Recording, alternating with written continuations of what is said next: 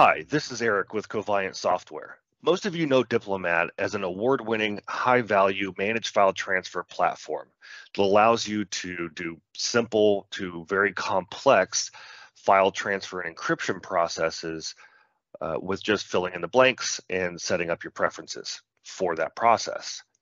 What some people don't realize is that Diplomat can be used to encrypt and decrypt files directly from a batch file or a script or some other application server. And you can do that without defining necessarily a process to do that within Diplomat itself. Of course, you can call a process, but you can also directly do the encryption. I'm going to show you what that looks and feels like. So to start with, we're going to look at this text file I have here in my temp folder. It's not very large. Only 375K, contains a lot of text. I can read it, no problem. So what I'm going to do is I'm going to go ahead and open a command prompt here, and I'm going to go ahead and enter a command line to um, encrypt this file. And very simply, I'm invoking the scripting agent. It's part of Diplomat MFT Enterprise, and I'm going to use it to encrypt that file with that example key pair. Now, there are a number of different options you can do here as well. You can uh, use additional encryption keys. You can choose to sign it. There's all kinds of fun stuff. You can provide different output paths. There's a lot of capabilities, but for now, we're just going to encrypt it. There you go. And now we notice there is a PGP encrypted file here, much smaller because it's compressed. And if we were to look at that file contents, that's obviously not the same, no longer readable. It has been encrypted with that key.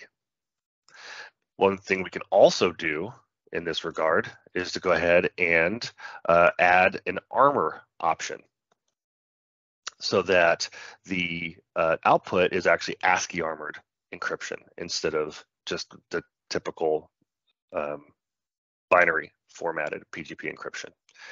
So this file still exists, but now we have this file here.